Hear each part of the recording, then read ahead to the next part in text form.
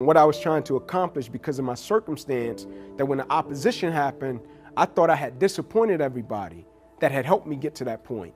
In the moment they made me realize that the picture was a lot bigger, it's like when you go to a picture in your home, or you go over there, you see that, right? Or you go to this, right?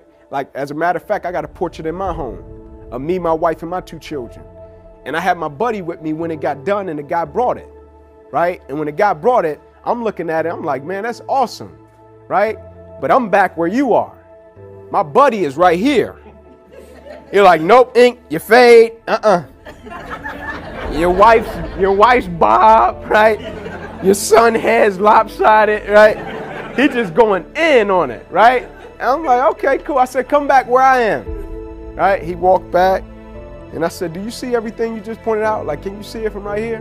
Like, is it that important from right here? You're like, no. I said, sometimes, man, you can't see the picture when you're in the frame. Like, you're too close to it. Right? And I was too close to it. I just thought I was supposed to accomplish this. When the opposition happened, they pulled me back and it was like, man, look at life.